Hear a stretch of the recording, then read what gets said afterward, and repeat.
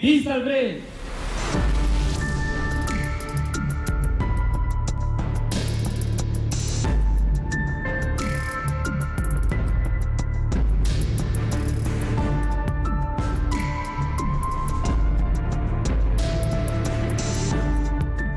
mensaje más fuerte que va a enviar el Ecuador es que los nueve sobrevivientes han decidido regresar a la academia y graduarse. Es una muestra de valentía y una forma de honrar a su, a su compañera.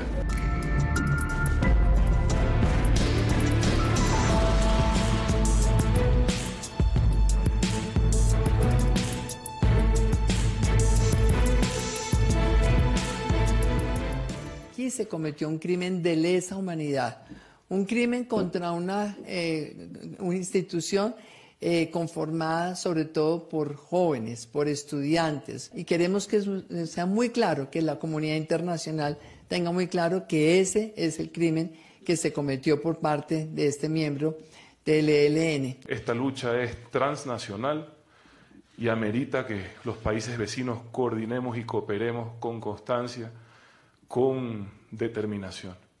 En ese sentido, vicepresidente, ratificar nuestro compromiso aquí ante la prensa, ante el mundo, y conminar a la comunidad internacional a, a rechazar lo ocurrido en Colombia.